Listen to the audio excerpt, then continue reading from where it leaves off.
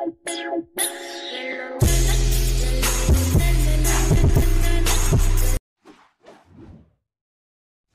guys, welcome po ulit dito sa aking channel ano. At ngayon nga may panibagong coins tayo na hanapin at bibilhin sa inyo. Pero bago po yan at katulad ng dati ano ay meron lang po tayong isa-shout out.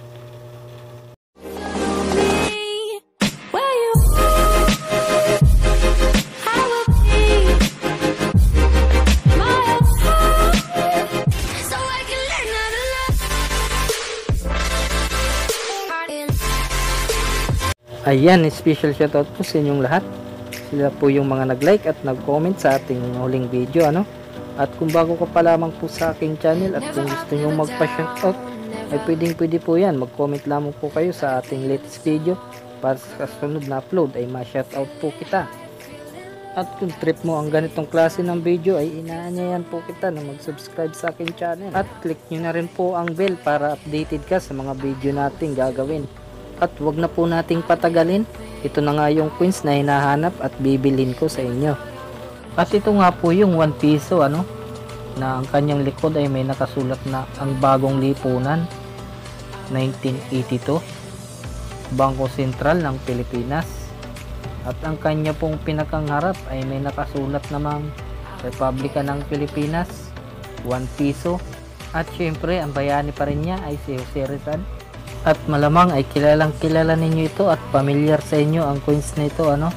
Kasi meron siyang issue mula 1975 at tumagal ng 1982 at syempre papakita ko sa inyo kung magkano na nabibili ito ngayon.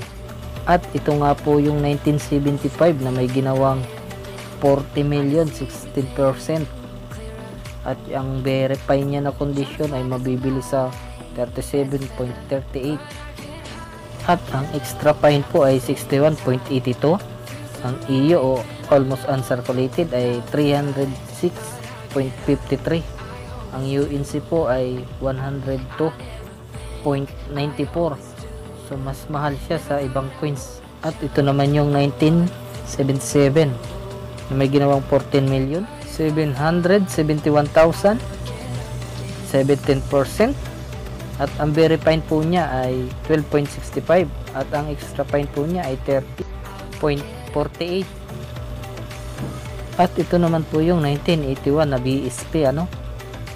O may ginawang 7 million 944,000 25% at ang very good niya ay 13.23 at ang fine po niya ay 13.80 at ang very fine po niya ay 4601 at ang extra fine po niya 57.51 at ang UNC po ay 64.99 ano Ayan guys, at yan po ang update natin sa 1 piso ano. At sana po ay nabigyan ko kayo ng kaunting kalaman tungkol sa update price ng coins na ito.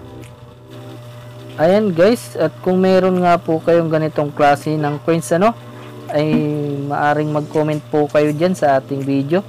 At mag-send na rin po kayo ng picture ng inyong mga coins sa ating messenger. Dahil maglalagay po ako ng link dyan sa ibaba ng ating video. Para po yan makita ko at makilatis ang inyong mga coins ano? Para mabigyan natin ang tamang presyo. Dahil depende pa rin po tayo sa kondisyon ng ating mga coins. Dahil ang binibili ko po ay yung maganda pa ang kondisyon ano at disclaimer lang po hindi po ako bumibili ng maramihan. O hindi po ako bumibili para maibenta ko ito ng mas mahal. Bumibili po ako nito para sa pansariling koleksyon ko po lamang. At piraso lamang po ang kailangan ko hindi po lahat. At ang binibili ko po ay yung may maganda pang kondisyon ano? At willing pong makipag meet up para maiwasan na rin po natin ang anumang klase ng pandaraya o scam dahil sa panahon po ngayon ay talaga namang talamak ang mga scammer ano at magdubli ingat na lang po tayo at guys ito na nga po yung 50 centavos na nabili natin ano Salamat sa mga nagtiwala sa atin na mabinta to sa atin. At patuloy na dumadami nga ang aking mga collection na coins ano.